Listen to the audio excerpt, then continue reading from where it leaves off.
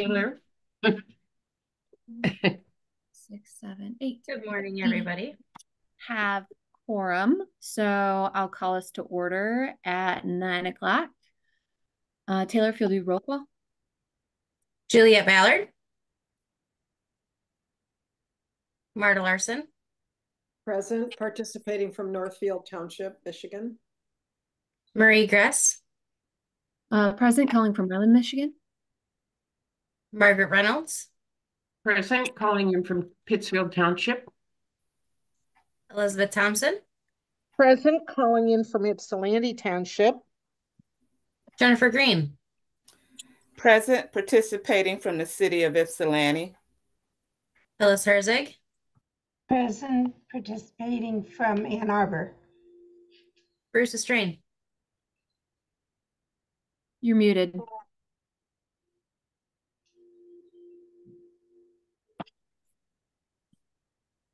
Bruce, you are muted. All right. Um, Reporting um, from Ann, from Ann Arbor with a dog in the background. Jennifer Heckendorn. Present calling from Ann Arbor, Michigan. Brenda McKinney. Present, Superior Township, Michigan. Jasmine Cooper has an excused absence. Allison Foreman. Uh, Allison Foreman, um, remote logging in from Ypsilanti Township. Commissioner Somerville. And I did see Juliet Ballard. Juliet Ballard from Dexter, Michigan. We have quorum. Great. Um, public participation. I see two members of the public um, as attendees. You can raise your hand if you would like to make public comment.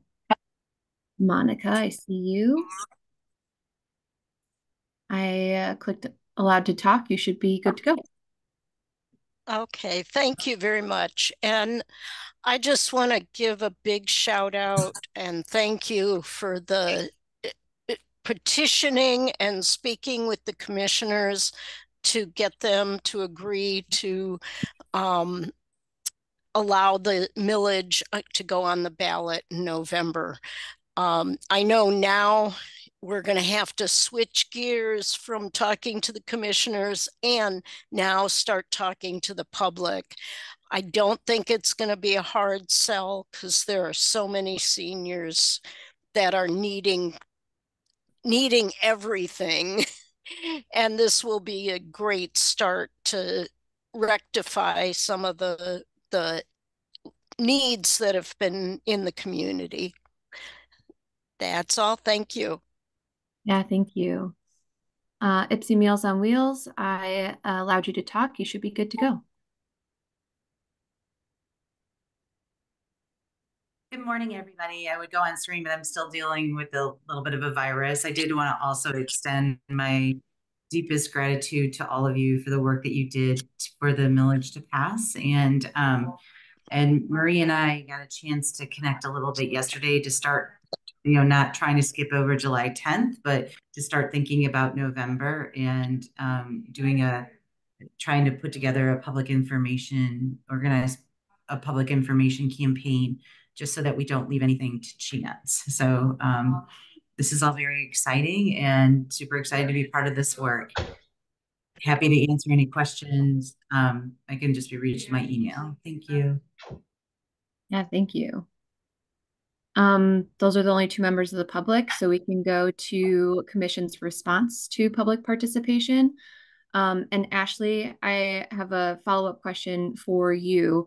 So this um, reading that Monica and Barb just both mentioned now um, was the first reading, and we have a second reading on July 10th that needs to pass before we go into like campaign mode and like letting the right?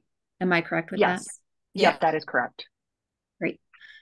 Um, so just with that that correction, Monica, we we need to be thinking about July 10 still. We need to be talking to our commissioners still, and we're going to talk more about that when we get to our subcommittees, um, because I know one of our subcommittees has started talking about next steps and all of that uh, as well. And Ashley, I'll have some more follow up questions for you at that point too.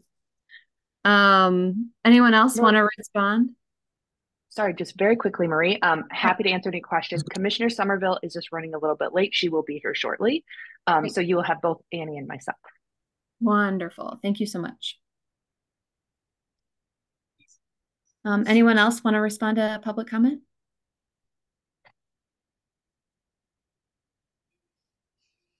Great. Then we'll move on to the next item, approval of the minutes. Do I have a motion? So move. A second? Phyllis, I saw your Support. hand. Um, any discussion? Great. Taylor, will you do the vote? Juliet Ballard, Yes. Marta Larson, Yes. Marie Gress, Yes. Margie Reynolds, I'm going to abstain because I was on vacation last week, wasn't here. Elizabeth Thompson, Yes. Jennifer Green, Yes. Phyllis Herzig, Yes. Bruce Estrain, Yes. Jennifer Heckendorn, Yes, I was absent, but I did watch the meeting um, online. Brenda McKinney, Yes. Jasmine Cooper is excused, Allison Foreman. I'm going to abstain as I was not part of that meeting. Motion still passes.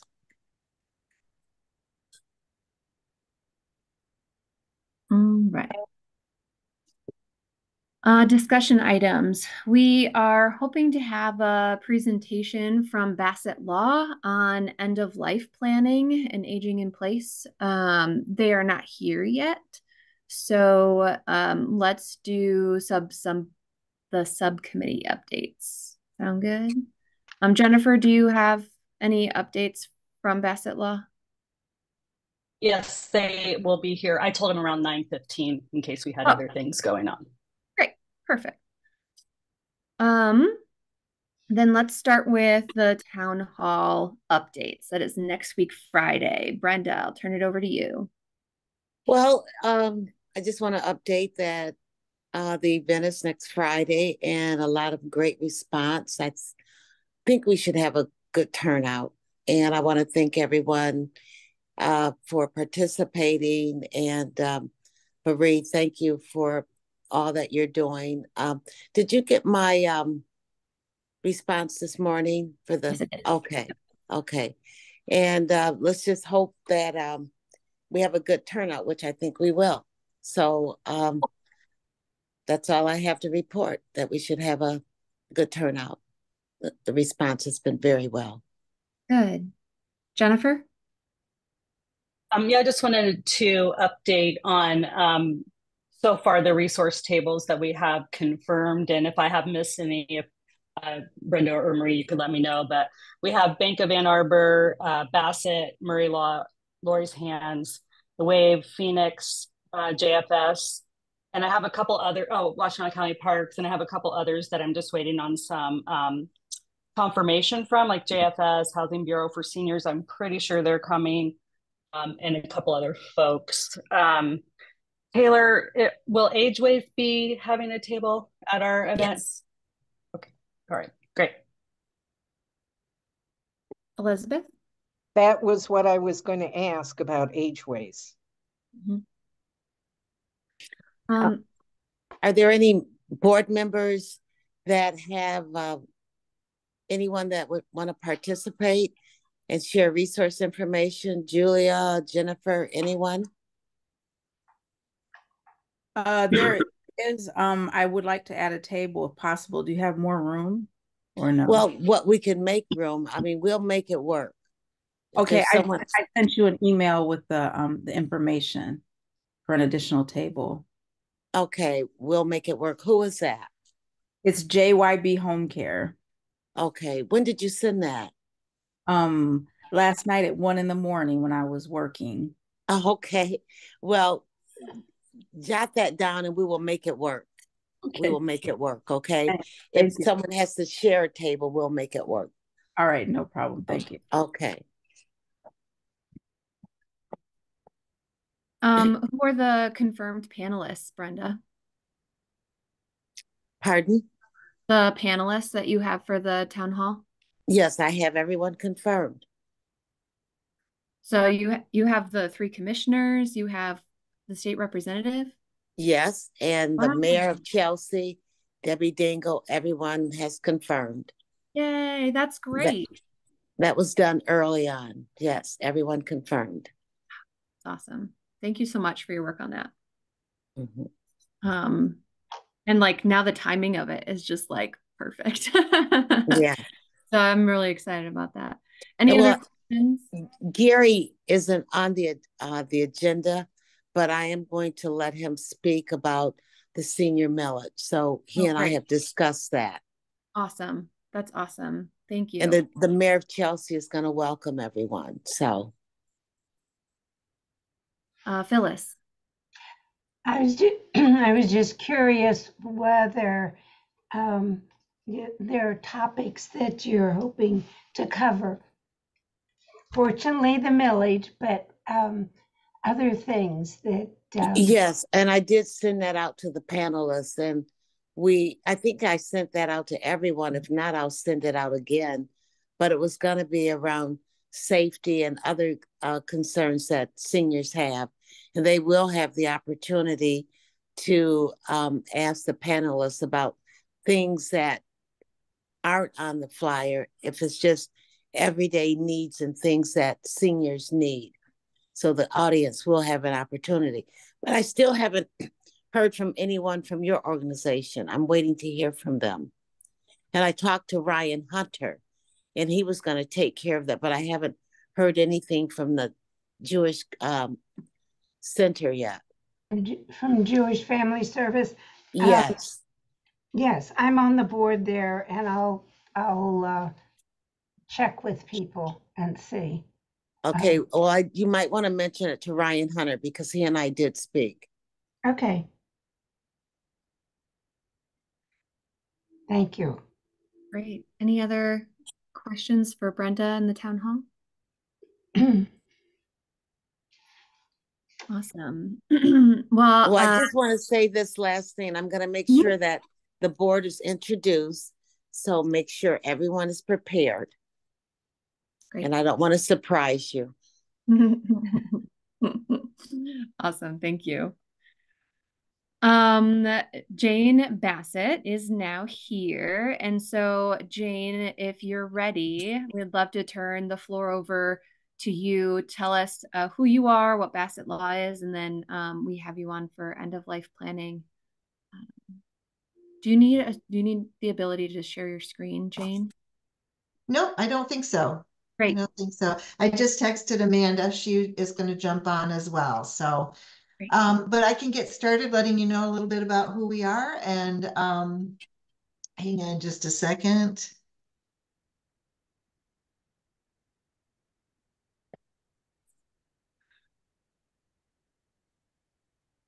It's um, classic Zoom issues. She's looking for the so um, so I'm Jane Bassett. I'm um, one of the two partners for Bassett Murray Law Group here in Ann Arbor. I've been practicing for 30 years, 30 years plus, uh, in the area of um, elder law, probate, and estate planning.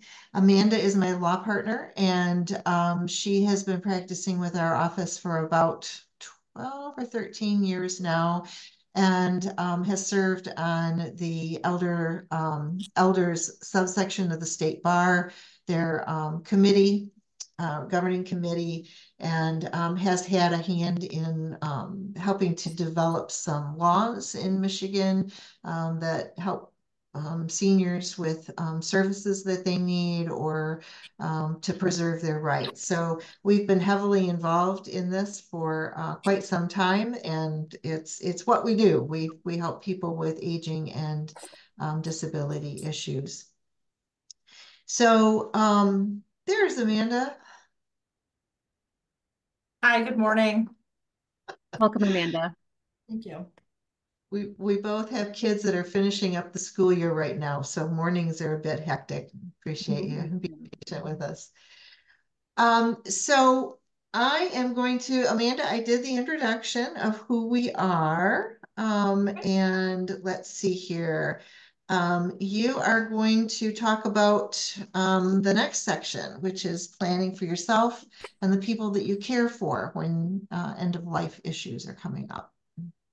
Yeah, so um, planning for yourself in general, um, you know, people need to uh, take a look at their estate planning documents, but these become even more important, um, you know, if someone is entering the, the final stages of their life. So I just um, want to reiterate the importance of taking a look at um, estate planning documents.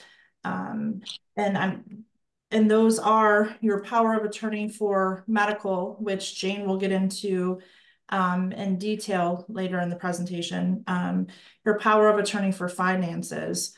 Both of those documents help a person during their lifetime. So they become very important um, if somebody is becomes incapacitated um, or has some sort of disability, physical disability where they can't leave their home as well. Um, the power of attorney for finances helps somebody um, assist with their financial decision making, um, kind of steps into their shoes financially. That person is known as an attorney in fact. Um, and then the power of attorney for medical um, uh, nominates someone to make your medical decisions. Um, and I'm talking about that briefly just because those two documents um, really do come into play and are important for someone who is ill or um, entering the, the last stages of their life. You know, it's just as important too um, for young people um, because emergencies can happen, right? People get in car accidents, have um, undiagnosed things happen to them. Um, so those documents are, are very important because they assess during someone's lifetime. And then planning for your for yourself, your person, um, through distributing assets. And that can be done through a will, through a trust, um, or through beneficiary designation. Um, what's really important here is that if you care for someone else, um, you need to think about that as well. Or, or um, so if if somebody has a disabled adult child, or if someone has minor children, taking those things into consideration and making them part of an estate plan is very important. So our law allows us to nominate guardians um, through our documents for um, our for our children. And if you have a, a disabled adult child, um, you know, sometimes those children um, have guardianships through the court system. And if they do, you can nominate standby guardians. Um, and so it's about planning for, and not only for yourself, but any, any, for anyone who is dependent upon you as well, that you help care for. Um, anything else to add to that, Jane? No, I, I think that's it. I mean, all of these documents work together to address all of the concerns that we would have um, as, as, you know, as we face the end of our life, how do we figure out how to carry on the things that we've done for our families, that we've done for ourselves, um, and provide some substitute decision making for that. So it's not just doing a medical power of attorney, it's all of the documents that work together to make that happen for people. Yeah. But um, I think we were asked to focus a little bit more heavily on um, um, medical powers of attorney and end of life decision making. So I want to get to that. That, of course, would be handled through a, a medical power of attorney. Sometimes it's called a um, patient advocate designation. It goes by different names, but it all kind of has the same function. So here in Michigan, um, we have a law that governs it, and it specifies that um, we can draft a document that says who we want to make our decisions. We can put parameters about what kinds of decisions that person can make. Um, and we can name a successor person. And then that document, if it's notarized and witnessed, is good to go. Um, the, the hospitals, the doctors, nursing homes should be relying on that document as the word, the, the nomination of the person that they have to talk to about your care. Um, now, sometimes people come in and they say, I want a living will. Well, living wills are great. They're a way of letting your patient advocate know what you would want or not want for your care, um, but they're not legally enforceable in Michigan. Michigan says we use the power of attorney to nominate a person rather than setting um, forth a list of instructions to our doctor. The reason that the law is structured that way in Michigan is, as we know, having just gone through a pandemic, we never know what's around the next corner. We never know what's going to be coming up medically for diagnoses or medically for um, cures or treatments that are available. And so we want a person who we trust to be appointed to be there in real time to listen to what's happening, what the diagnosis is, what the prognosis is, what the options are for treatment, and be able to make a decision standing in our shoes as to what we would want um, to um, for for that treatment, um, those treatment possibilities. Sometimes people come in and sit down with us and they say, "I want everything possible done." And then we start kind of talking through it, and maybe they walk back a little bit, maybe they don't. Maybe they really want everything possible done. But it's their decision to make. And it's important for the patient advocate to understand where that person is coming from, what their ethics and values are, what they will or will not tolerate being done to their body, um, especially when they're not able to communicate for themselves. So that living will, while it's not legally enforceable, it's still important because it gives that patient advocate the ability to go back and read through it and kind of glean hints on what that person would want them to do or say for them. The patient advocate is required to make decisions based on what they know the um, principal wants, not what they want for the principal. So, um, and that's so such really a big important. difference. That's a, such Yes. a big difference there. Um, because you know, people often want to just name their kids or their spouse or um, you know, someone like that um who's close to them. But questioning too is that person, does that person have the capability of making that decision for the um for the person who is sick, so for the patient. Uh, and are they able to carry out what the those wishes are on their behalf? So sorry to interrupt, Jane. That's okay. That's okay. Perfect timing.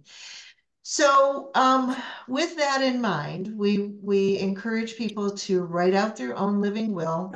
It can be formal. It can be using a form that we give them that you know they can fill in the blanks. It can be using one of the five wishes forms that kind of walks through the different questions. That's a, a good way to get people to think about things. Um, it can be I've had people do funny videos. Um, they trying to lighten the mood, it'll inject a little uh, comic relief. Um, it can be a letter. It, it can be any way that person wants to communicate um, with their patient advocate what they want, as long as they do something. so that that's the one thing that I always encourage people to do with along with the power of attorney. Let us draft that so it's legal. We know it's good. We know it's going to hold up. You've got the counseling around it, the legal counseling, but then do that um, living will as well. When we do powers of attorney here in our office, we always ask uh, at least five questions. We go over these individually so we can set the outer parameters of what the patient advocate can do. The first one is, do you want your patient advocate to be able to tell the doctors to withhold or withdraw life support or life sustaining treatment? That has to be specifically spelled out in the power of attorney in order for the patient advocate to have authority over that. It needs to be a clear statement. We put it in big bold letters and we have them initial that separately so that it's absolutely clear if they want that to happen. The second one is, do you want your patient advocate to be able to sign a do not resuscitate order for you? Sounds very similar to people, but it actually is very different in the law and in operation of, of medical circles. So we address that separately. Do you want them to be able to authorize hospice care for you? So if you were terminally ill, um, do you want them to have the option of bringing in a hospice to keep you comfortable? Um, for a lot of people, that's a no-brainer. Absolutely. Other people maybe don't know what hospice is, and we have to go into that explanation a little bit so they understand. Um, and other people say, nope, I want everything possible done to keep trying to cure me. I don't care if the doctors say I'm going to, you know, that it's a terminal illness. Um, do you want your patient advocate to be able to donate your organs and tissues for someone else's use? Okay. And a lot of times people will say, well, I've got that on my, my license or I'm on the registry already. Well, that's great. But this is one more way of being able to quickly make that decision in, you know, when timing is critical. Um, do you want your patient advocate to make mental health treatment decisions for you? So the mental health code is different than the probate code. Um, our probate code governs what a patient advocate can do um, or what a guardian can do, uh, but it doesn't address mental health issues um, specifically. That's in a separate, whole separate law under Michigan, um, the Michigan Mental Health Code. And in that law, the rule has always been if you can't make your own medical mental health um, treatment decisions because you are suffering from a mental health crisis, that the doctors would petition the probate court and a judge would decide if you have to submit to the treatment or not. We, oh, it's been about 15 years ago now. They kind of toggled both of those laws and they made them work together a little bit better. So now we can put in the provision that a patient advocate can make mental health treatment decisions. And as long as the patient doesn't revoke that power of attorney right when they need it the most, then the patient advocate can make those decisions and it keeps it from having to go to a judge. So you're not going to have a public court file. You're not going to have a hearing in front of a judge where people have to present testimony. It's it's a very it's a very mm, not very dignified kind of proceeding for the person. It's it's really an affront to their personhood. So we like to see patient advocates having that authority instead of a judge. Now, the second part to that is because people sometimes aren't thinking very clearly in, in those moments, or maybe they're suffering from paranoia, they may decide they don't want their patient advocate making decisions for them. So if Amanda were my patient advocate and I said, I don't want her making decisions for me, I know she's poisoning my soup. Every day I get soup, it tastes funny. I know she's poisoning it. I don't want her anymore.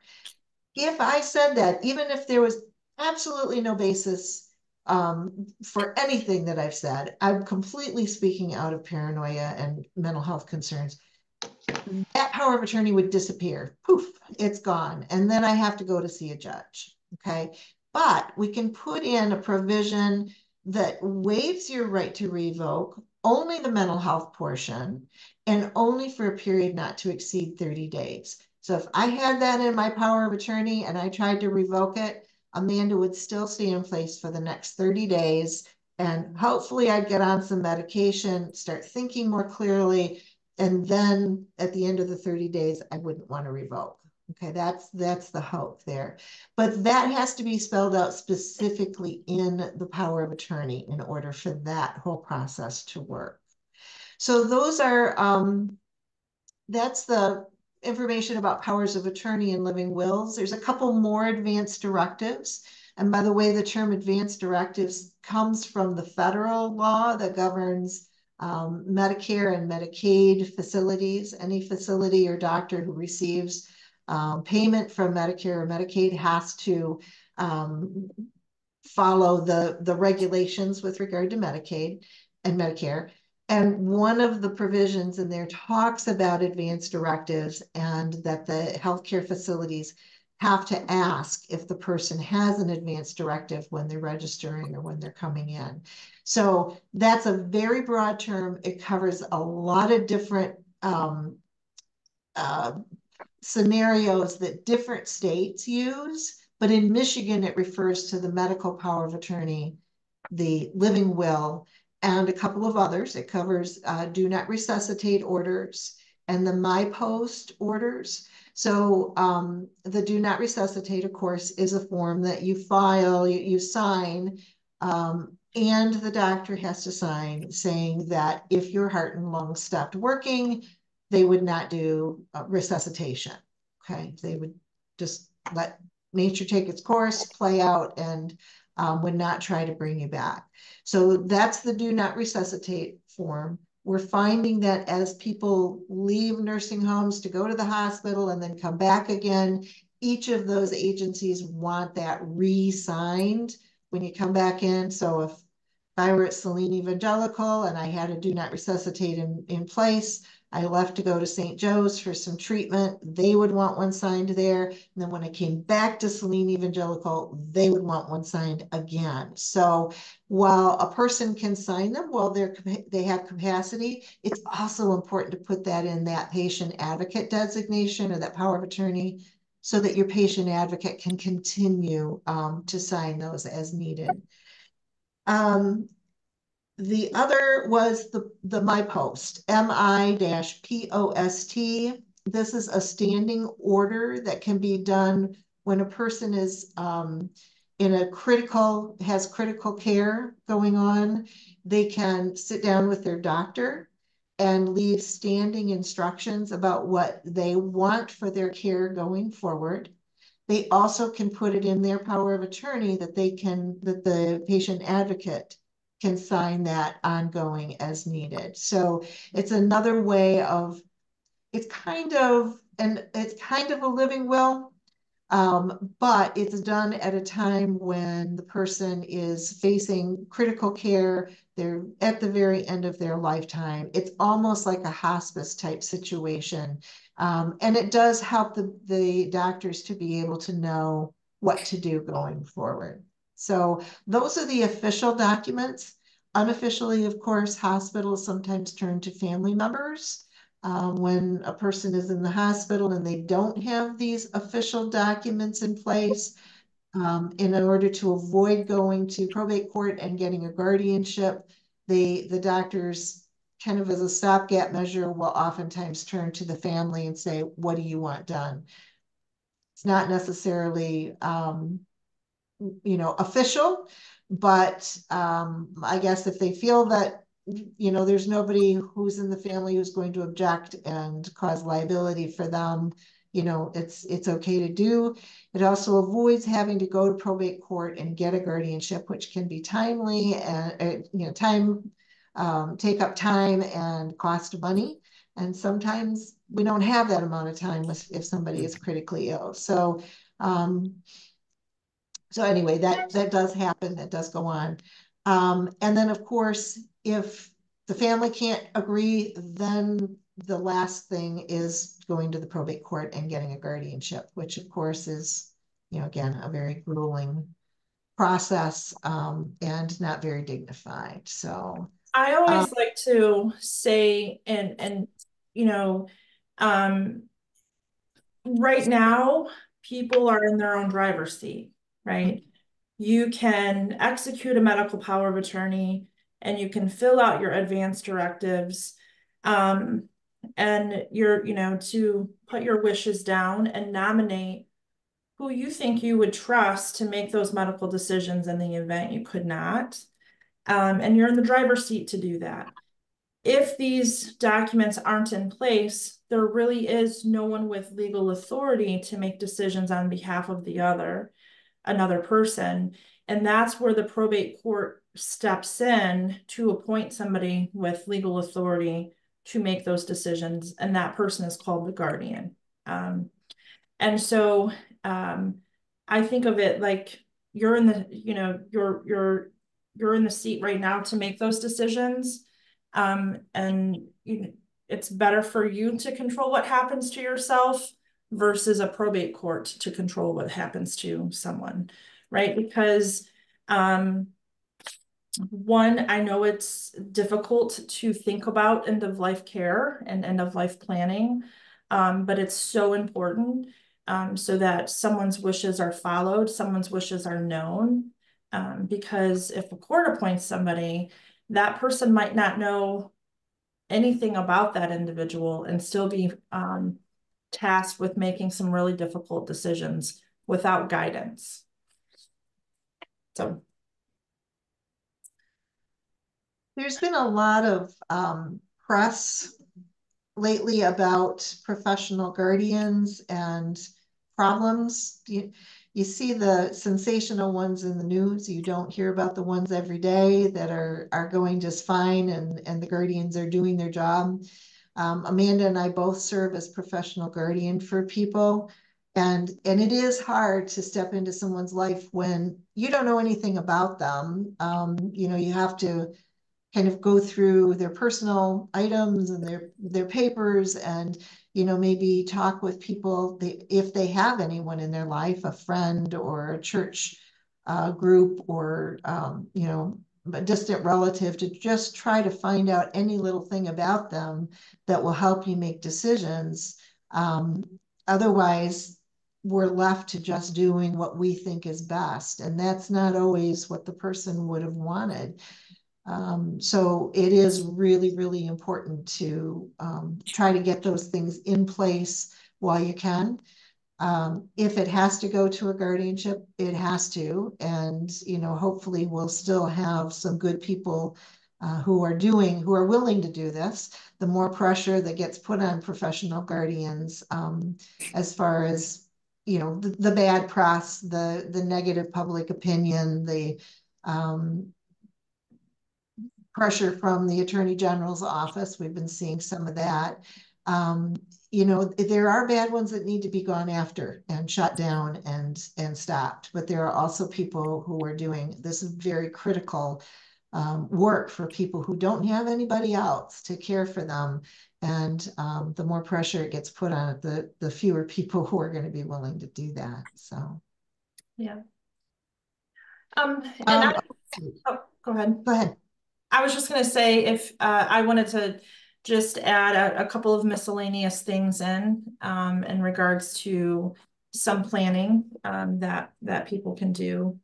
Um, one uh, something to think about is prepaid funeral arrangements. So, um, you know, you can uh, actually uh, go to a funeral home, enter into a prepaid funeral contract um, and pay for that um, ahead of time and make preparation for um, you know, if, if, somebody wants to have a funeral, if they want to be cremated versus buried, and um, you know, if they want, um, you know, I've had clients write their own obituary, which some, you know, people have different feelings about this, but it is these are things that are options that are available um, to individuals. So um, a lot of times when we do Medicaid planning, which I'll talk uh, about in just a moment, um, very briefly, um, the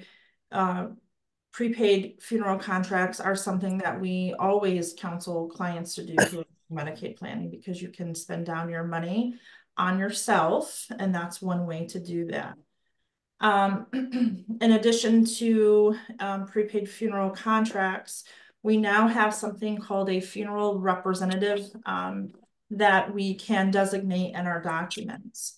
And this person is in charge of or has the authority to direct um, what happens to an individual, um, uh, an individual's remains and burial and services. So we now can um, nominate who that person is. Our, if nobody has a funeral representative nominated, our Michigan law states that your next of kin is your funeral representative, which may or may not be okay with you. Um, So that's something just to be aware of because that's newer in the law, um, not brand new, but newer.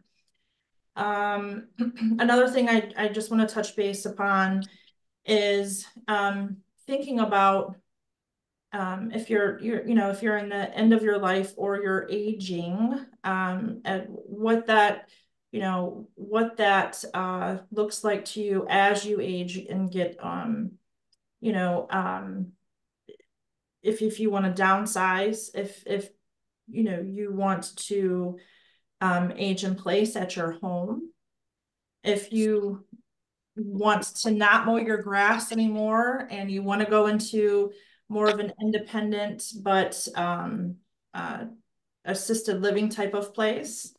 Um, or if, you know, um, you would want to go into a long-term care facility and, you know, thinking about those things, um, if, if hospice would be something that you would um, want to participate in, um, thinking about where you would want these things to happen and what your ultimate goal is um, is important and knowing the difference between them um, and also knowing uh, the funding sources. So with, with that being said, you know, there are cost sharing programs that um, our state has to help people pay for in-home health care and for additional assistance in the home. Um, there's long-term care insurance. So um, you know, all those uh, long-term care insurance plans are very different and cover different things. So it's very important to take a look at what, if, if somebody has long-term care insurance, what their contract says and what they would cover.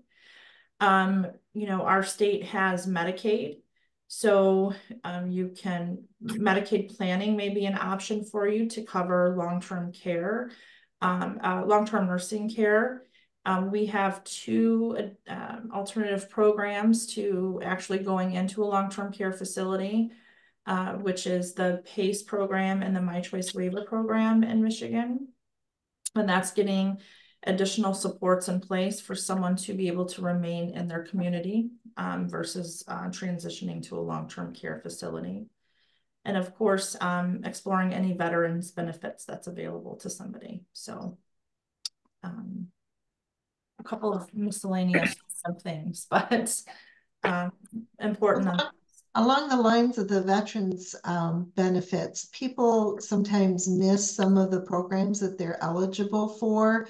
Um, for instance, service-connected disability.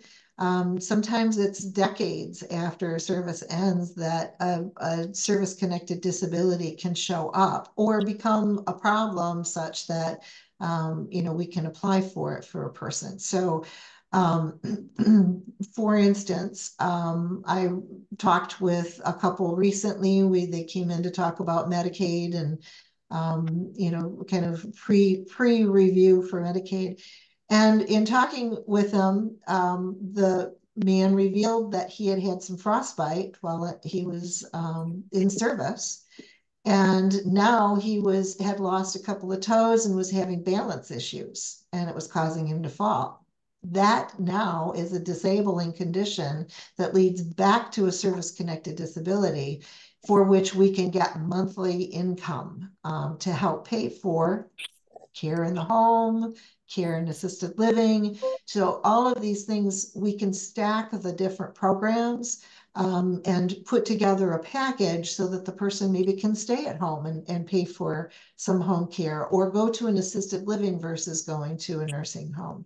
So um, there are options out there and sometimes just going through the scenario, the life of the person, we can find things that they may not have even known about. So, um, so yeah, that's all part of end of life planning. We want to make sure people have the resources that they need to be able to live where they want to live and how they want to live. So I think, Amanda, did we hit the end of our list here? We did hit the end of our list. Okay. I'd like to answer any questions that anyone has. Absolutely. Hands up, everybody. I know I have a few. Um, look at all these. This is great. Brenda, I have you first. Um, first of all, I would like to know your number for Bassett Law. Can I have that number?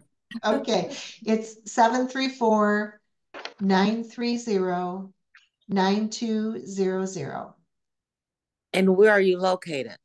We're on Hogback Road, just two buildings north of the um, jail complex. Okay. Um, my first question is this, like, I go to my doctor's office and she, she she's given me this form to fill out and it's for what is it guardian or uh, to fill out in case something were to happen to me? And is that medical attorney a power of attorney or? Right. Yeah. So they've they've the doctors and hospitals have been handing these out because they want to know what to do you know if you become incapacitated. So um, a lot of times people don't have them and so they provide a form. Um, it's it is a uh, medical power of attorney or patient advocate designation form that could be captioned either way. And um, it, it is the form that you can use to nominate a person to um, make your decisions for you if you become incapacitated it's better than having nothing. right.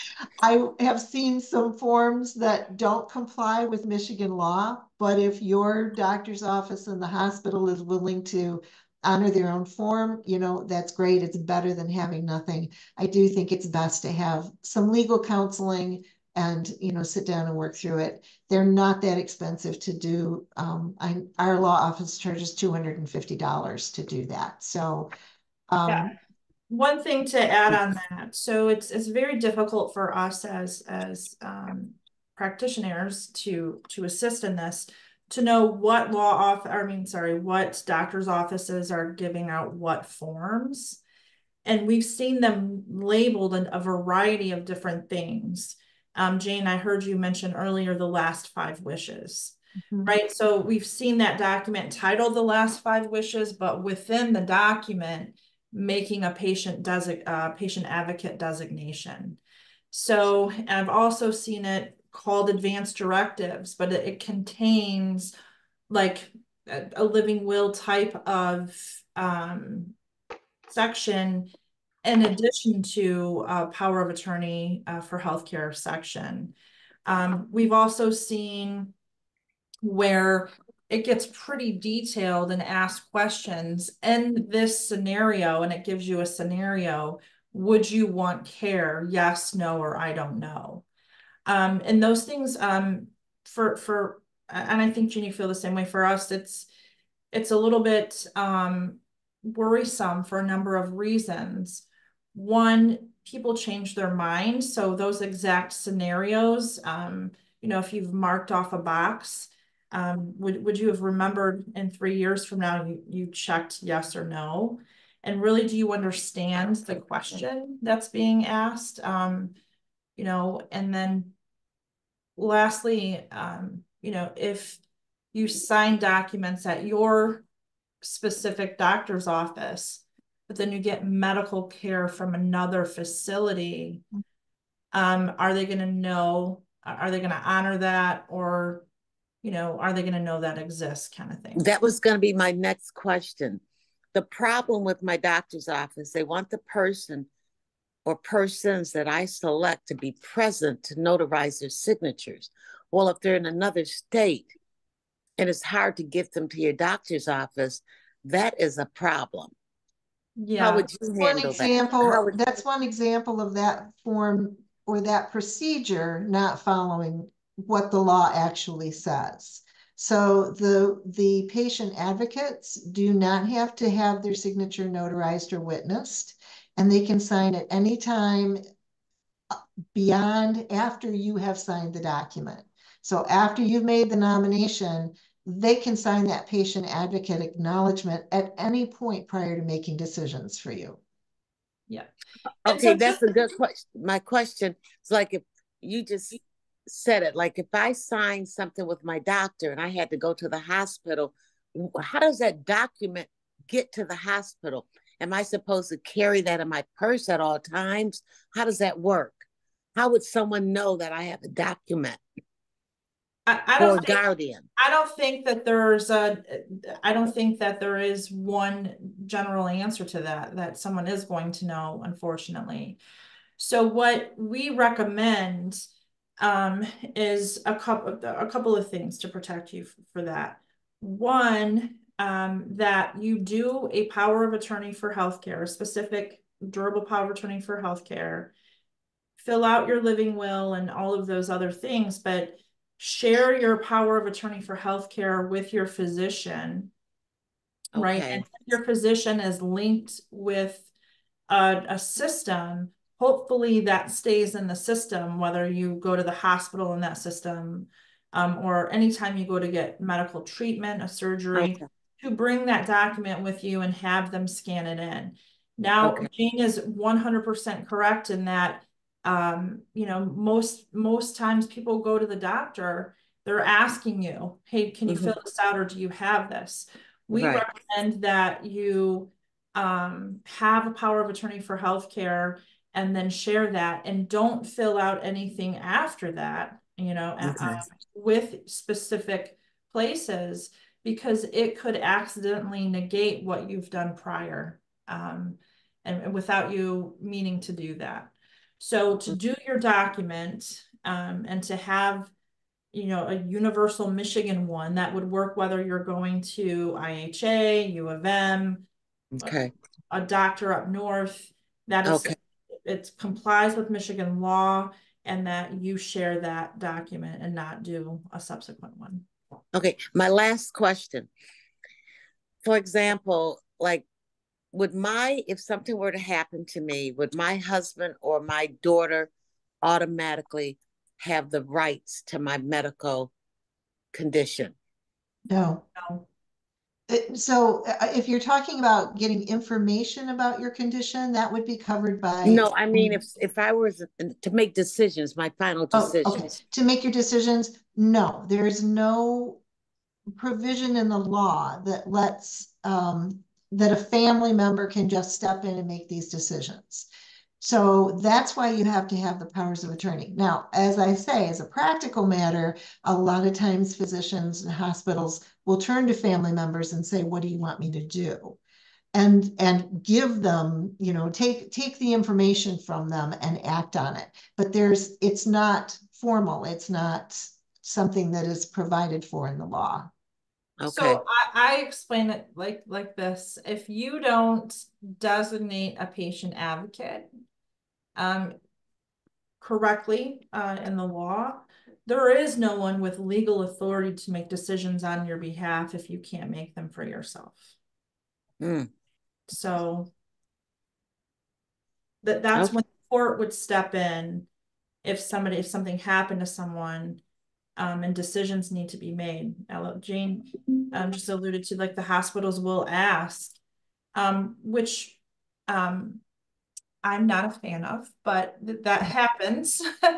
um, and uh, that person may or may not be someone who an individual would want making decisions for them, or uh, may may or may not be a person who would make the same decisions as the as the sick person. So that's why Okay. these documents are so important.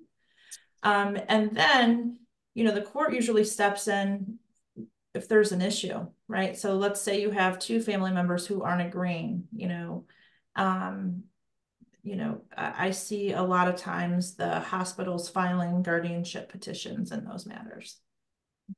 okay. All right, thank you. You're welcome. Jennifer? Hi, Jane and Amanda. Thank you so much for coming today. I really appreciate you being here. Um, I have two questions and I'll say them both and then uh, turn it over to you. But what about older adults who don't have any resources, don't have any family members, don't have that $250 to get this done? Uh, what happens in those cases or what, where can people go? And my second question is about um, how is the DPOA empowered? What are the things that need to be in place for a person to make decisions? Because just because we have that document doesn't mean that they necessarily have the right immediately to make those decisions. So, uh, what are the process? Uh, what are the processes for those sorts of things? So for people who don't have funds and don't have people to make the decisions, those are two different um, barriers to people. Um, the first one, um, legal services normally will do powers of attorney. Um, and like I say, filling out the one that the doctor or the hospital provides is better than nothing. So um, I would recommend doing that.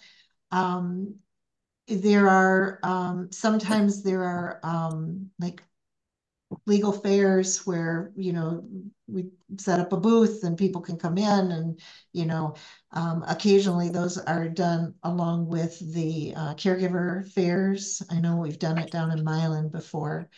Um, with regard to who they can appoint there are professionals who will do this um, and my suggestion is that they should interview a few people and decide who they want to work with.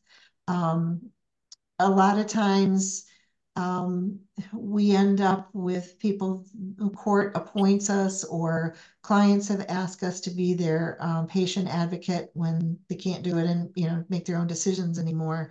Um, and you know sometimes we end up working with them throughout the end of their lifetime whether or not they can continue paying. So a lot of times if they end up in a nursing home we end up getting paid $95 a month um, for doing all of their bill paying, reapplying for Medicaid, this type of thing. So there are some systems in place. Those rely on attorneys and social workers who are step up and are willing to do this because it's the right thing to do, which I is why I say the more pressure that gets put mm. on as public guardians, the more you're going to lose the good people who are out there doing it um, in an ethical way and under the goodness of their heart. So um, that's that. Amanda, you want to address the second part of that? Sure. How do they become um, what I would activated. say activated, right? Um, and so a power of attorney for medical usually within the document will tell you how it's activated. So our document here um, requires two physician signatures before a substitute decision maker can um, start making decisions on behalf of someone. So, um, you know, the we require a, a treating physician um, and then the physician signature as well. And if the person regains capacity, um, letters from two physicians can reverse the activation and mm -hmm. restore the person to their own decision making. Yep. Great. Thank you. Uh, Margie? Um, yes, thanks so much for a great presentation. Um, we ought to make sure that even younger people get this um, presentation or know about this. Um, you know, I I have been medical power of attorney for several people, and um, um, one of the things that has been a resource for me has been if the person is a member of a faith community, um, often that faith community has uh, forms to fill out, options for people, you know, everything from what what verses and songs do you want at your funeral? Uh, do you want a funeral? Um, and even even things like things to do uh, to have in place before you die, like what are your passwords and uh, where are my where are your documents? All kinds of detail about that. And my church happens to have several of those kinds of documents. And we had a class presented by one of the pastors, and she really um, encouraged people to write their own obituary or to at least put the details, clear details down. I know that I wound up writing an obituary for a, a good friend of mine, and it took me days to find all the information. So um, do your family a favor and put that that detail together before you die. Um, and um, then just let your advocates know where all that material is, and often the church will want a copy. So it's a great resource.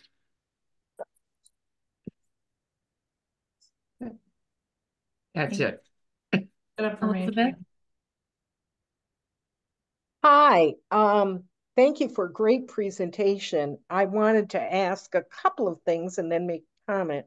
And my questions are, I know that the state of Michigan has a website that has information about advanced directives and medical power of attorneys, and the mm-hmm. state bar also has a legal help website that has that information. Are those useful resources, especially for people who may not be connected with an attorney? I think, again, those are good forms to look to. I probably would look to that before I'd look to some of the um, forms that the doctor's offices are handing out, just because I've seen some really poorly written ones. But um, yes, if, if the person doesn't have the resources to come in and get the counseling and sit down and go through the questions um, and have it drafted, then it is it is certainly better than not having anything. I, I would I would just add really um really the benefit too of is counsel right? So versus reading something thinking that you understand what it means um and then you know signing it and really knowing and understanding the signing the authority that you're giving away to a person and how these things work together is the benefit of counsel, right? And so that's why, you know, Jane is saying like we would rather have you sign that than anything, but you know, really to come see an attorney because you're missing that whole counseling part. and you could be the brightest person in the room, but if you don't have legal background, you may think something means one thing um, when it means something different, um, just because they're legal terms and they're not easy to understand um, if you don't have that legal background. So that's why we're just saying. Right. The other protection that I think having counsel provides is there are oftentimes allegations of incapacity or undue influence, and a lawyer can help to um, provide testimony that a document is truly what the, the person wanted. They came in alone. We met with them alone. With you know, they received the counseling. We talked about why they didn't want uh, to name other the other children or you know somebody who's complaining. So so there, you know, that's the other piece. And then the third piece is the signing. Um, a lot of times we see documents come back where you know, the person who's been appointed as patient advocate is signed as one of the witnesses. That's not going to work. So there are certain people who are disqualified from being witnesses. Um, sometimes it's witnessed but not notarized. Sometimes the notary leaves off their commission. So those kinds of things can crop up and and nobody notices them until it's too late, until it's needed. So yeah. And the comment I had is picking up on, on what your presentation has stressed, communication and really making an individual's desires clear. Margaret mentioned, and our church has done that too, the conversations ahead of time, not just about what you want your funeral to look like, but what do you want end of life care to look like?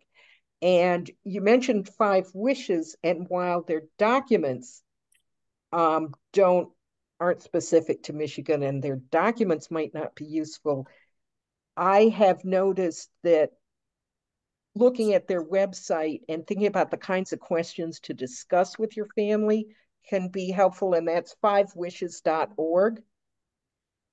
And I would also encourage people to not just think of the older adult to be starting the discussion, but if you are a caregiver, mm-hmm. or even if you're a child, my parents gave us kids a wonderful gift by years before they had the pre-planned funeral. They wrote their obituary, they had their funeral planned, and they had the hard discussion with the three of us. When I am not able to make a medical decision, this is what I want. And so when that time came, the three of us kids were all knew what each parent wanted and were able to say, we know this is what mom wanted. And um, what a gift they gave to us. It, it is an amazing gift, yes. Thank you. Bruce? Um, like my colleagues, I want to thank you for a, a, very helpful presentation. And having just gone through this process, I, I um, appreciate the importance. Um, I have two quick questions. One is, people have identified some community resources that are available, um, legal services, the faith-based communities, um, possibly doctors' offices. Have you found any other organizations and maybe a couple of the umbrella organizations, Catholic Social Services and uh, Jewish Family Services.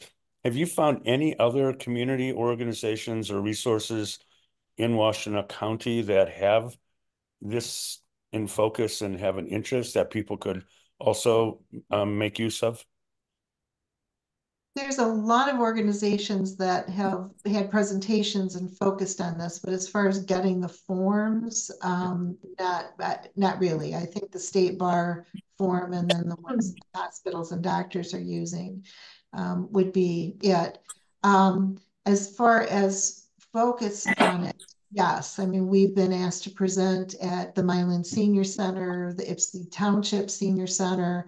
Um, we've done several church uh, presentations. Um, so we try to get out there and present as much as possible so that we're, you know, we're spreading the word and talking to people about it. But yeah, and so if you know you go to local, um, you know, localized fairs that um, like Senior Housing Week here, um, like Jane just talked about Milan, the Milan Fair that we go to. Um, you know, a, a, attending those type of events, you always can see uh, what new organizations are within your community um, for community outreach and assistance. and then um, get brochures on, um, you know, people who or organizations who are longstanding in the community as well. Okay, so that, that that's helpful that you guys at least make whatever effort you can. And um, it's just, uh, I'm just trying to think about how people can get to good advocacy resources prior to becoming patients or critical, facing critical situations. Um, the other question I have is just a more general, quick response, but I know you focus mostly on the topics of end of life and and uh, and powers of attorney, things like that the the term aging in place is that a term that you use? Um, I only ask that because it has a larger connotation to it, and I'm just wondering if that's part of your language in terms of how you uh, you do your work. I would, I mean, I've heard that term throughout um, just by being connected with the types of um, uh, organizations that we talk to. So um, I, I we are part of um, the the name is escaping me now. We go Washtenaw, Washtenaw County Senior Leaders. Mm-hmm. So I, I I mean I I don't even know where I picked up that term at. It could have been here within our office or with a social worker or you know um, with an assisted living. Um, so I'm know, curious as to what connotation. Um, I've I've not heard anything about that before. Can you say a little more? Um, I'll just give a 10 second response because it's a long a longer response, and I know time is um, running here. But um, the state has put out to get put together reports on aging in place. It involves a lot more. It's all of what you guys do, plus a lot of things that also need to be in place what are sometimes we referred to as um, social determinants of health and other factors that go into how people live healthy lives. And so while the use of the term is understandable because some people are using it, it's really a lot more complicated and um, and we need to be doing more to sort of bring that to people's attention and understanding. So I, I just that's, that's a short answer. Interesting. Thank you for bringing that Yeah, up. I'll yeah. look at those reports. Thank you. Uh, Thank Phyllis? Um, so I, I just wanted to mention a couple things to reinforce what, um, what you have said about the, the counseling part of making these decisions. I'm aware that, um, very often people will say, well, I don't want any extenuating, uh, treatments happening. Um, I don't want to live on a machine, for instance. But sometimes there's a procedure that's needed to get over a certain medical hurdle. And then, and then the, uh, uh, the person really can, uh, can live on their own at, at that point. So uh, what I've become aware of is how important it is that the, the patient advocate really understands where you're coming from and can think through these these things that probably less is better in writing than um, than more. I, I had a friend who who was filling out his at that time living will and he must have had 20, 25 different conditions that- that he made um, a decision about when he was like 60 well now in his mid 80s i'm sure the situation is very different. So uh, this just a push for your your counseling on that. Um, and the other thing i wanted to just throw out that uh, to tell people there is something that you can draw up called an ethical will. And that's just something for you to your family of what your values are, what your druthers are for them, what what you think your life has meant to you and maybe to them. Um, so it's I, I'd be glad to talk to anybody further if they're if they're interested in it. I've never heard of an ethical will, so that's a new term for It's me. not legal. It's not legal. It's I've heard of it before. But yeah, um, I would like to just comment on what you said previously about the the 20 different scenarios and you know checking yes or no. Um, and this isn't meant to scare any of you, but what sits with me um, is that I had a client early on in my practice, um, so about 10, 11 years ago, come in um, with a questionnaire with a bunch of different scenarios and wanted me to walk through it. Um, and I just was just reading through them and it asked the question was, would you um, would you ever want dialysis? dialysis picture in my mind, my dad was on dialysis and it was pretty taxing. So I have one picture of dialysis. But Phyllis, you spoke to sometimes you just need a medical procedure to get over a hump. Um, and then during that time when I was reading that question, I had just had another client who um, was very ill due to a car accident um, and just uh, and his body started to shut down. He just needed a couple of um, it was hopeful that just a couple rounds of dialysis would kickstart his kidneys. And those are two very different scenarios with dialysis. And it often sits with me if someone checked no, Mm-hmm. would they not get dialysis in either of those situations? Right. And so that's a great point that you bring up, Phyllis, is that, you know, instead of cornering someone into a box of with all of those different scenarios, really talking to your patient advocate so they know you and they know what you would want and what you mean by certain things. And, you know, allowing the second scenario where it kickstarts your kidneys versus like if you didn't want long-term dialysis. So that's the importance of that. I know we're running short on time. I had two things that I wanted to mention that occurred to me. One is that um, there is now a profession starting called uh, end of life doula. And if Okay, good. I'm seeing nodding. I one of my clients worked with uh, end of life doula, and it was just an amazing process. So I wanted people to know that resource is out there. Um, the other thing is to make sure that those documents, the medical power of attorney and the do not resuscitate order, if you sign one, are handy. Um, DNRs should be hung on the refrigerator because the EMS is trained to look on and around the refrigerator. Um, otherwise they're they're not going to you know they're not going to pay attention to it if they don't know it's there. So they've got to know it. For the medical power of attorney a couple things that you can do to make sure they're handy is to uh, scan them in digitally and put them in your cell phone. Make sure each of your patient advocates has a copy. Make sure any physician you see on a regular basis has a copy.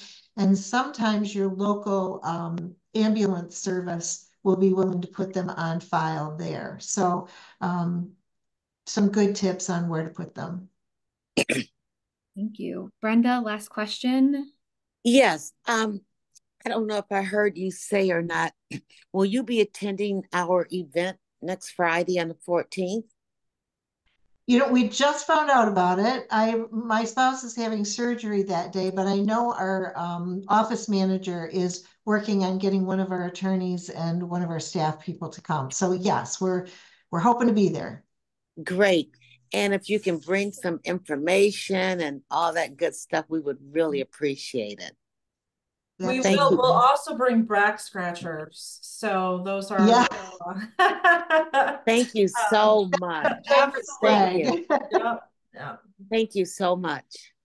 Yeah, thank you so much you for both of you for coming and answering our questions today, giving some education. I just want to remind everyone who's listening right now that our videos are our meetings are posted to YouTube. And so if you have people who could really benefit from hearing just this high level overview, I really would encourage you to share it once it's posted. Um, Jane and Amanda, I also heard you both mention Medicaid spend down and the long term care insurance. And so I think we should have you back um, within the next year to talk more about those because that Medicaid spend down is such like a, a big complicated thing. And if you could help give an overview, I'm sure um, this group would really appreciate it and people who listen to our meetings would appreciate it. Be happy Absolutely. to. Yep. Mm-hmm. Great. Well, thank you so much. Um, I'm going to move you to attendees. You're also welcome to just to just go. Um, we really appreciate your time and hope to see you on Friday or one of your team members. Thanks Absolutely. for having us. Yes, mm-hmm. thank you. Everyone have a great weekend. Thank you. All right.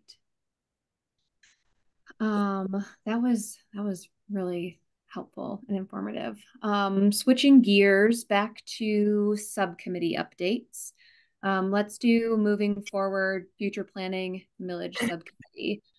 Um, would like to share. Elizabeth? Um, Allison, Bruce, and I attended uh, the Board of Commissioners meeting uh, on Wednesday where they voted on the first reading um, of a proposed senior millage. Um, and I was able to share on behalf of the commission a document that Marie had helped put together that really shows the demographic silver tsunami, as I've heard it referred to, um, how in 2028, um, there'll be more people over age 65 plus in our county than under 18. And I think, Marie, you already shared that with our membership. Um, I don't know that everyone has it. I am planning on sharing it in a few minutes um, so on this screen and then having it posted on our website. Yeah. Mm-hmm. So um, I don't know whether it'd be more useful for me to to give some notes from last night's discussion yeah, uh, yeah. now, or you'd rather hold that? No, please do it now. Okay, and then afterwards, if Allison and Bruce have things to add, um, the commissioners made some comments about the, after the millage proposal was presented, Commissioner LaBarre spoke about the importance of the data and really thanked um, all the different advocacy groups for providing data. He said that the um, data about the demographic changes, the growth of the older population, really um, helped garner his support for the millage. Commercial Commissioner Sanders was concerned. She expressed the idea that the adult service millage did not support families and children. And she was also concerned about um, the affordability for older adults with increased uh, property taxes. Commissioner Light really emphasized the importance of senior centers in addressing social isolation and providing sites for nutrition programs and health related programs. She is very supportive of expanding nutrition programs to meet special dietary needs, to provide a full day's worth of meals plus snacks, and seven days a week. Commissioner Rabhi wanted to make sure that the millage resources were targeted towards older adults. He proposed an amendment which was passed to insert the definition from the Older Americans Act that uh, services would be targeted towards adults 60 years and older. He wanted to clarify that the County Office of Community Development would be the uh, entity administering this funding. And he spent some time discussing that his, his perception that county residents have developed a bit of a mistrust of county government and their spending decisions and procurement policies. So he suggested we be that this be really focused on specific things. And I know Marta Larson from the very beginning of our discussions has said it's important to share exactly what a millage would support. And uh, Commissioner Rabhi really re reinforced that. He also suggested maybe uh, looking as, as a spending plan is developed to go big, like take, we had listed different areas which we've identified over the last several years, priorities, and he was saying maybe even focus more closely on some of those, uh, nutrition being one of them. Uh, we had a chance to discuss, along with some other advocates, our joy at this vote and um, other things we might want to consider going forward. Um, focusing on existing programs and services and expanding to make sure need is met county-wide.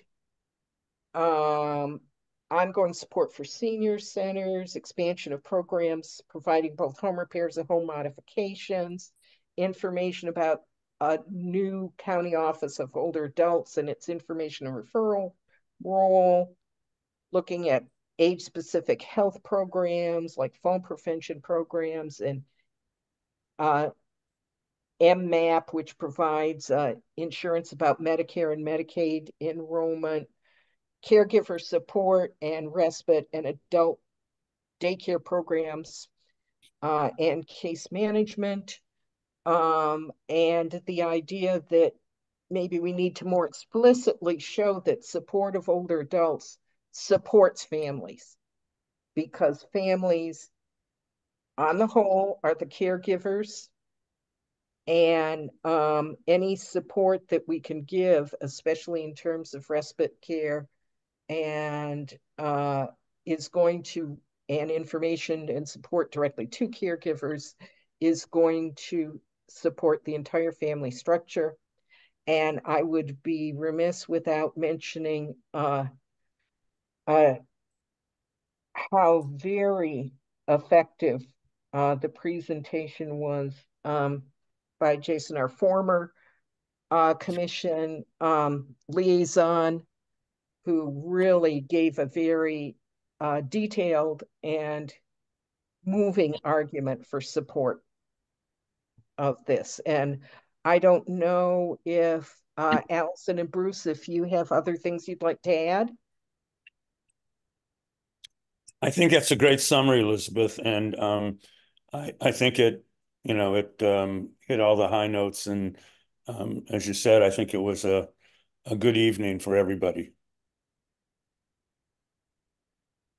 Um, I would just add one thing to that, and because of folks worrying about um, older adults who are on limited income, I think it'll be really important when we talk about future planning and when we go into the next phase is talking about the exempt the homestead exemption and how that might impact Mm. and communicating that with people because I don't remember it's it's different in every municipality so maybe Annie or someone from the county would be able to chime in on this because is it if if the millage is over a certain amount the exemption doesn't exist if it's over a certain amount? Like if we had a mill that was like a millage that was like two mills like the home the exemption goes away but this is a smaller one. So i, I think communicating that how the exemption might work would help for folks who are lower resource and really communicating that. We can't just assume people know what that means. So that's the piece i would bring out because it would counter a little bit of what carolyn um, kind of brought up that for the lower resource seniors, I think we really have to do a good job of communicating that. And there was a lot of hesitation for her, and I was personally surprised that she actually said yes. So I think, especially with we have one more vote, and like Marie said, like we're not done yet. We got to still communicate with them the next um, month and do that. So I, that was the piece that I thought still saw as a threat for us. And just to chime in for a second, um, I think Marta might be able to share some of her uh, recent uh, expertise in talking about the homestead exemption. I know in your community you've mentioned that as an issue. Well, I, I haven't really gotten very far with that, but the Housing Bureau for Seniors has a lot of really good data on that, and I'm hoping to have something soon. Right. So we won't all bombard Housing Bureau for Seniors. We'll just all bombard you, Marta, for that information. Margie. Um, well, I I was thanks for that summary, Elizabeth. I was able to watch um that and um Jason's review was spectacular. And I I tend to think he got a lot of it from Marie's document. Um, but um, it really was wonderful. And um, the the other thing I want to mention is when we're talking about this uh, to the public, I think we need to be uh, sort of make sure that we say this will bring in um, all parts of the county where where you know in the past many areas have had um, very little access to services more so than others.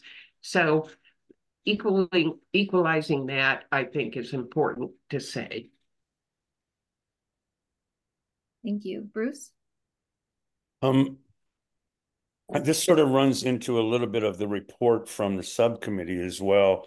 Um the subcommittee both focusing on the millage and and, and forward looking and planning. Um and I think we saw, and I think it was especially driven home after the meeting, that we saw a clear role and clear opportunity for the commission to play a role over these next, especially over these next few months. Um, have people ever done photography, you know, even before iPhones?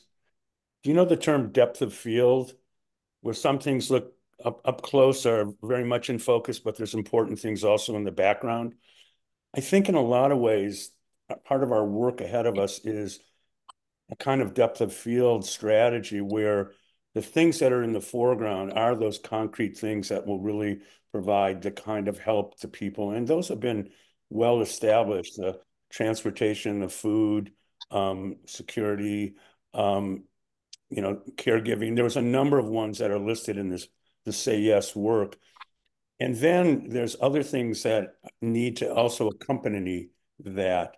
And I would hope that we could, as a group, begin to talk about strategies um, and resources that we would like to leverage as a result of the, you know, if the millage does get passed, um, Allison noted some things going on in Ohio that even got the attention of the um, the Board of Commissioners. Uh, they have been able to leverage resources um, for virtually every senior center in the state. And um, I think there are things that we could play where we can play a really productive role in sort of broadening um, that that vision of what we need to do. So we could both meet the challenges of addressing the more critical needs facing some of the seniors, but also speak to the broader public about why this kind of investment does provide benefits for families, for caregivers, and others, both immediate and longer term. Yeah. Thank you. Brenda? Yes, I have a question for Elizabeth. Elizabeth, when you were reading your report, who did the county say they wanted to oversee the millage funding once it's passed? My understanding, and I did not have the text of the millage proposal that they were voting on in front of me from discussions uh, with Jason, my understanding is they wanted it administered through the regular purchasing procedures and the um, these kinds of programs are currently being uh, administered by the Office of Community Development, and they are in support of forming a separate Office on Aging with staff, if I'm correct. You know Uh, what I would like to see? I would like to just throw out to the board is that I would love to see someone from our group also included. Um, it's just something I was thinking about. It would be nice to have someone from Say Yes to Seniors or uh, just to also be included. Yeah, one of the things I've seen on documents, not that it's official or anything at this point, but that they would have members. So when when applications come in, agencies who want access to the senior millage funds to do the work that they're doing with this population, that it would be reviewed by a committee. And on the committee, there would be the Office on Aging, there would be COA members, there would be um, uh, potentially um, agencies who do not that work, right? There'd be conflict interest, but other like stakeholders like that. So there would be a committee reviewing those. Board of Commissioners would make that final decision, and then they're administered through OCED because they do that procurement and contracting process uh, for the rest of the county. Okay, um, that makes me happy to hear. I don't want it to be just left up, not saying that they would not do a good job because I'm sure they would, but I don't want it to be just left up to county administration to Mhm. determine how the millage is spent. That's all. Yeah. Yeah. I think when we get to that point, I we could make a, a memo or resolution to to, you know, express, you know, from our point of view as the Commission on Aging and Advisory Board, this is what we would like to see happen. I'm Thank gonna you. let- make a note of that so we remember to do that later. Thank you. Yeah. Um, so a couple of things that I wanted to mention. If you have not yet reached out to your commissioner to say thank you for their support, please do that. Um, they didn't all have to vote yes. Some of them could have still vote no and it could have passed, but all of them voted yes on the first reading. And I think that's a, a really big deal. And saying thank you, keeping this excitement, this positivity going forward, I think carries a lot of weight, especially with some of the other decisions they they have to be making. And so um, I think we should we should be reaching out and saying thank you. And then also like we still have July 10th coming. What else? Where where are you at on the July 10th um, uh, second reading? Is there you know anything that we could do to help you to kind of get that?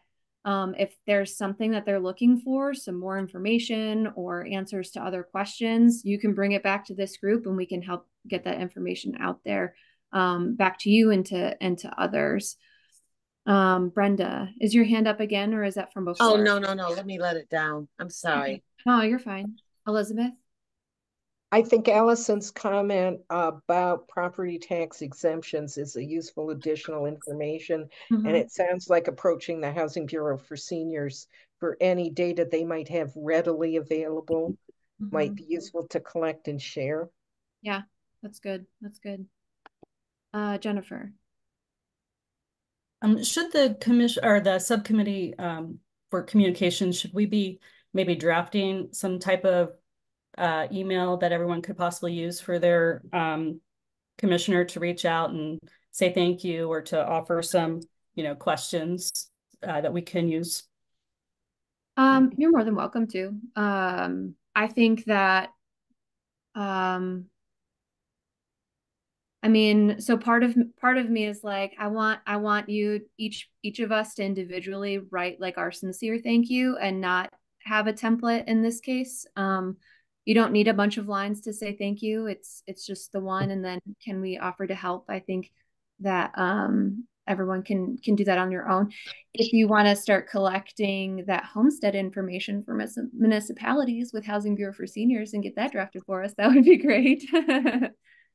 awesome. Um, and it sounds like Marta's working on getting that too. So if you guys want to collaborate on that, that would that would be really helpful. Um, Allison.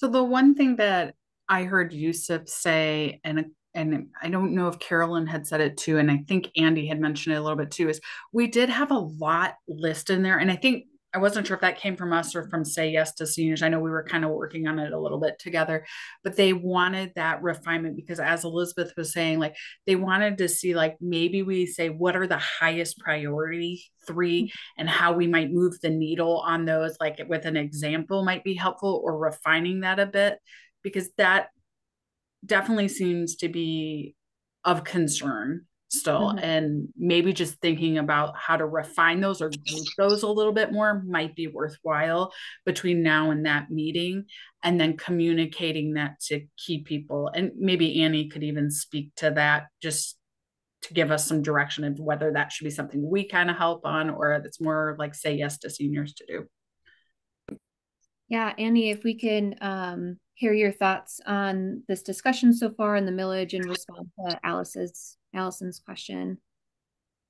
if you're available. Um, hey, can you hear me okay? Yeah. Yeah, sorry. So, um,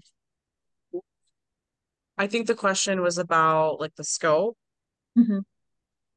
Yeah, um, did did I can send everybody the actual like item with the document that has everything listed if you haven't seen it. Um, it's everything that we talked about at working session, um, when Jason kind of led the discussion. Um, I don't know if that's helpful. I Yeah, please, that would be great. Be great. yeah, and then just in terms of like comments made by other commissioners, um, I think there are some commissioners who want everything to happen in-house, and then there's a majority of us who said that it needs to be like a hybrid approach where we have some services in-house, like the Office on Aging, and then we also do um an annual RFP process and have like um standard dollars that go to our senior centers. Um, and so there's a there's a few different like buckets. Um, and then I also I'll just say it's flexible though, like the language is flexible enough so that like if year one doesn't go as well as we thought, we can re we can we can plan better for the next year. Yeah, thank you. Um, one thing that uh, Jason was talking to me about when we were having discussions um, was that it not coming too much from outside how how agencies or other people want to spend these dollars to really let it be the board of commissioners say this is how we want to spend these dollars um, and then keep that flexibility in there like annie mentioned. Um, and so i think i would just want to get some more feedback from jason annie and others on on any more discussion or uh, honing down the the list that was in there. And actually, I'm going to share my screen now, so the rest of you who haven't seen the document that um that I helped put together which is separate than what Jason was reading from. He and I use the same sources. Um, let's see, which screen do I want to share this?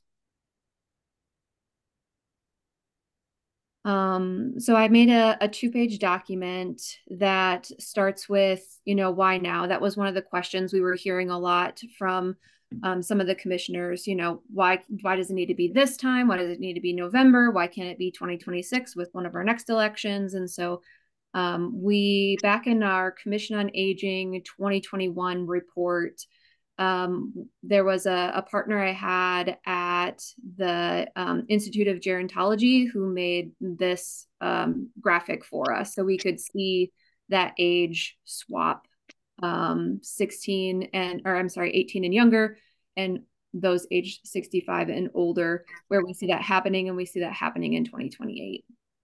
Right. And there's some um, additional statistics here just to kind of you know give some more meanings to the lines that you see but that's that's really the big the big swap there. And then more recently um, i went to a semcog um, our aging region webinar and they offered this uh, graphic where you can see our Washtenaw County right here and the um, each township and municipality where their aging population is um, back in 2022, not too long ago and then where we expect it to be in 2050. And you can see, especially in Western Washtenaw, um, there is a, a significant shift. Um, and so that was one of the other demographics that we used in some narratives to kind of give it a little bit more um, meat. And then on the second page, something that um, the Say Yes to Seniors group had started, and I just tried to summarize a little bit so it, it fit more nicely on this document was what what are some possibilities? How could this be used based on um, Ann Arbor Area Community Foundation's report, um, the one they're currently wrapping up right now, the one they did in 2020 um, with their root cause survey. Um, in 2019, AAA1B did their um, community survey, and housing, nutrition, transportation are the top three and have remained the top three things. And so that's, we start with county administration because some office on aging things, information referral things need to happen. Um, housing, here are some possibilities within housing that the dollars could be used for nutrition, transportation. Um, and then, of course, health and wellness captures the senior centers, it captures um, legal assistance, um, one of the things that I know legal services of Southeast Michigan has done before and they would like to do more of is to make home visits. Think about our homebound seniors. Do they have this stuff in place? They tend, not all of them, but you know, a good chunk of those people we serve could be under resourced um, and they can't leave their home very easily. Uh, so what if what if end of life planning came to them, right? And those those could be ways the dollars are spent. And then of course some capital buildings emergency response uh, type programs. I'll have Taylor email this to you so you can see it better. Um, and then we can also put this on the website. Um, I didn't put my name on it. I put Washtenaw Commission on Aging because I really made it uh, from from like this this body and, and support from this body. How soon can we get this? Uh, I can have Taylor send it out after the meeting. Thank you. Mm -hmm.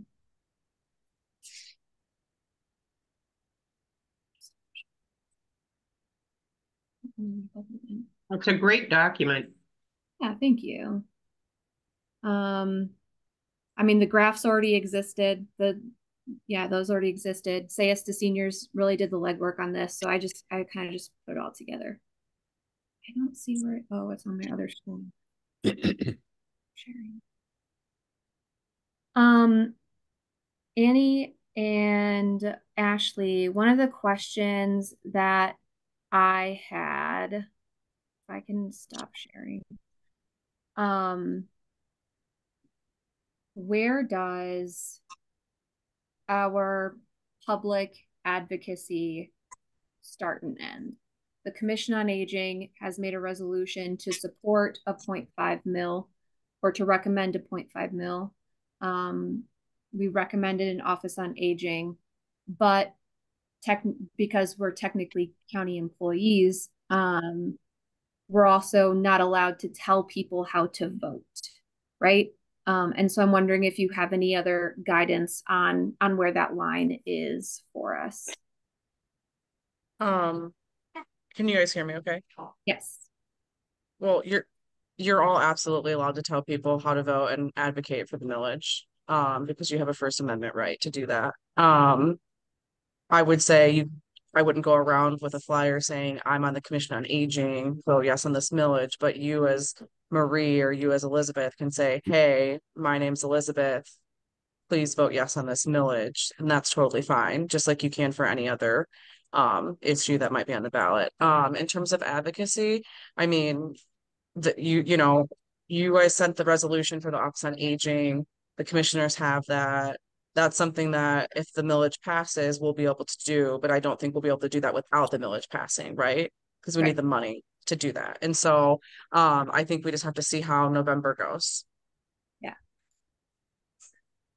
All right. So no, no like um Facebook post Commission on Aging supports the senior millage, but Marie Gress. I- Um, I I think that probably crosses the line, Okay. but if you all wanted to like form some sort of like um shared messaging, yeah, like I think that crosses the line, but like you could all independently get together as individuals and come up with like a graphic and all share it Facebook. I just wouldn't say Commission on Aging.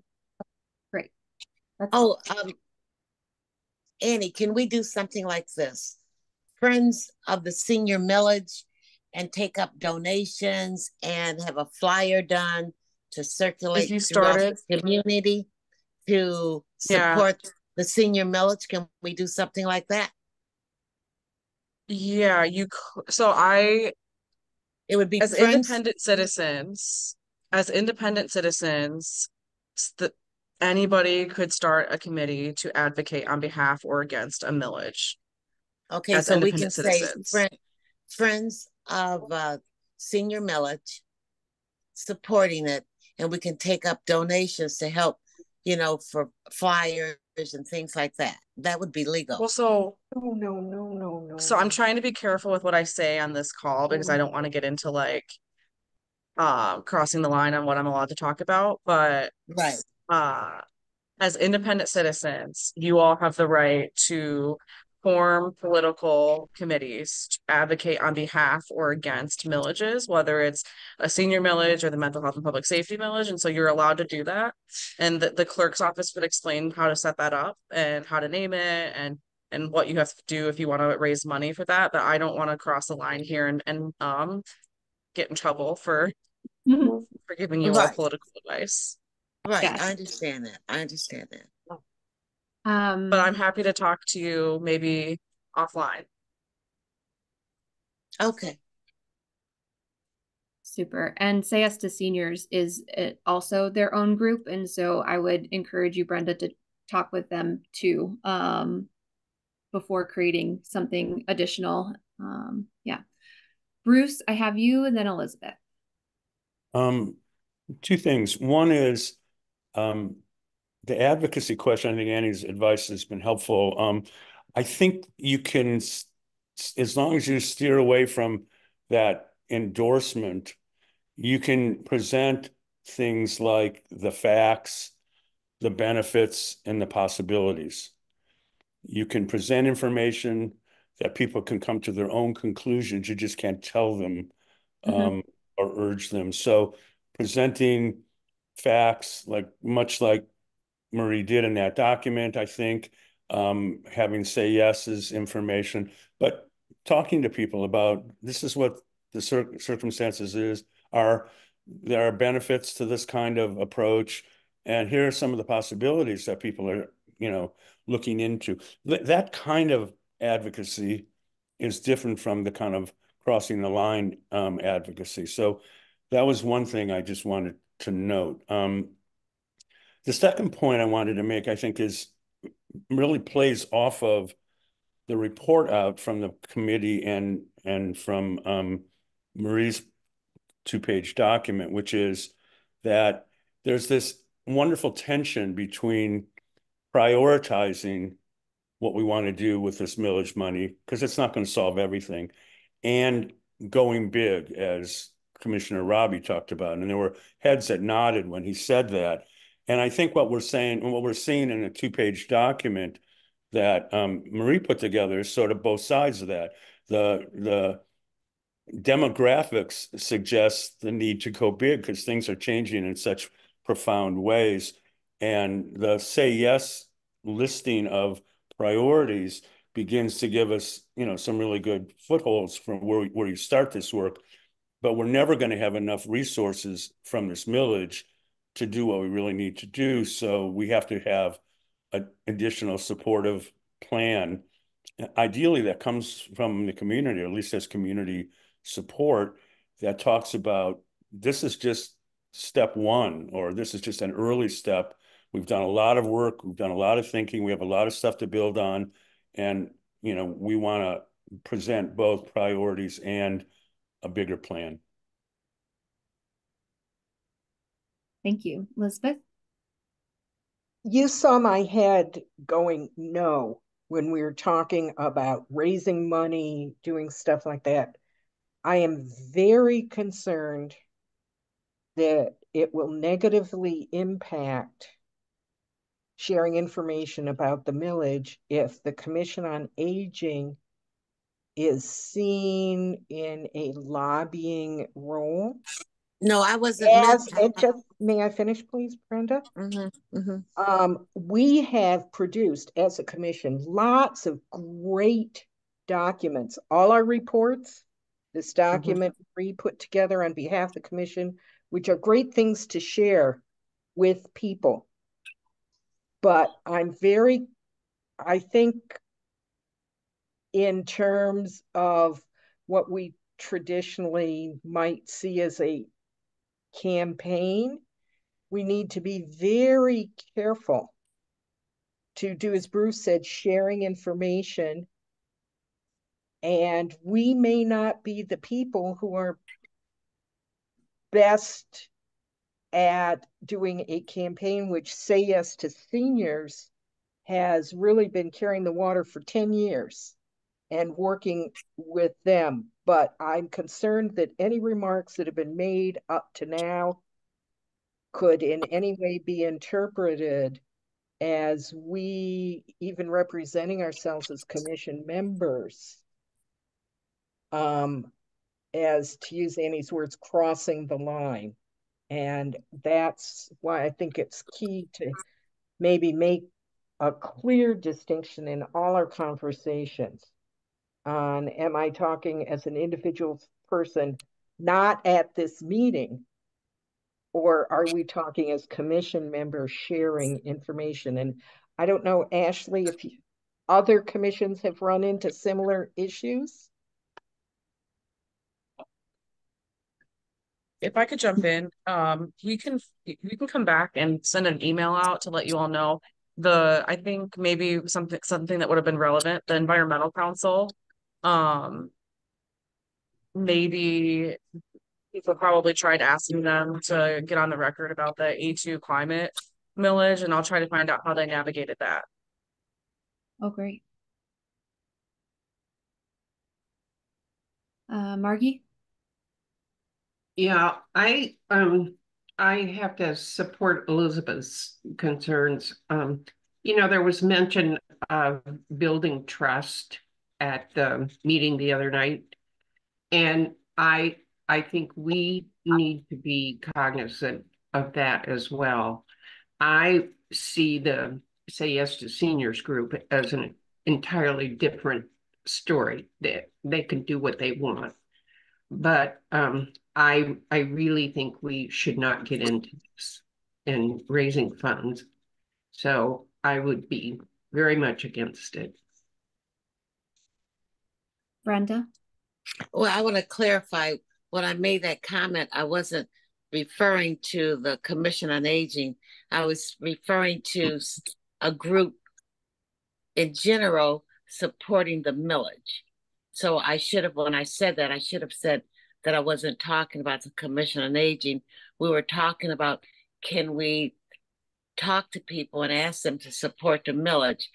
And we were told we can do it on an individual basis, but not as Commission on Aging.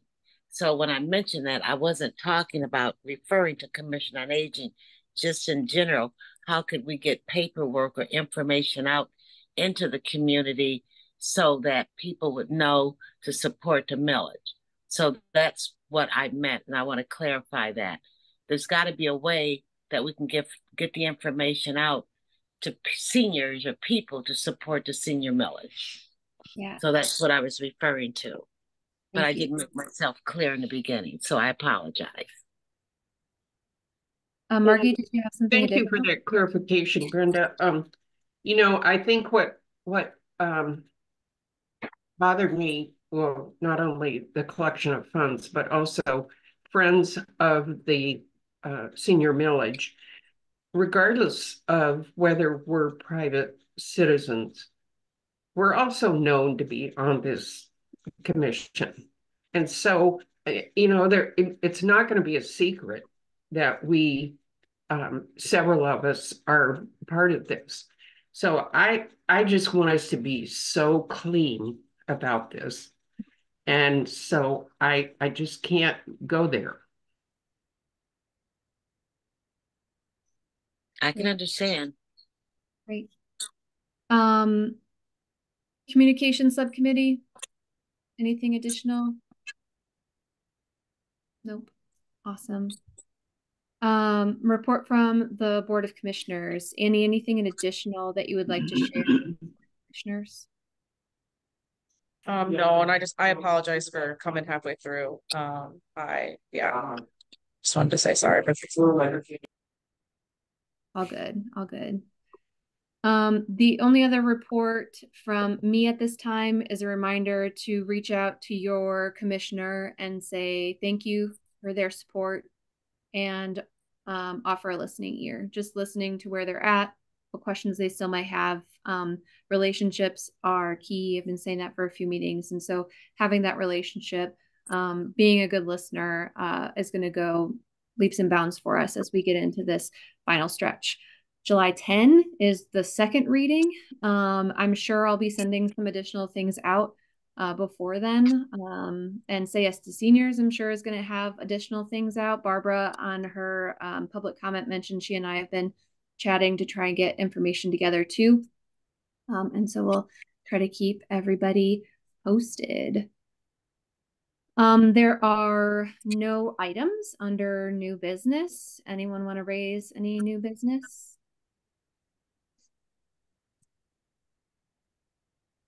Great. Um, then our next meeting is August 2, where we hope to have a care coordinator and someone from the Silver Key Coalition um, come talk to us about some aging in place initiatives and, and how the work that they do help our people stay in place. So um, motion to adjourn. Everybody thumbs up. Yes. Great. Um, see you all August 2, if not sooner.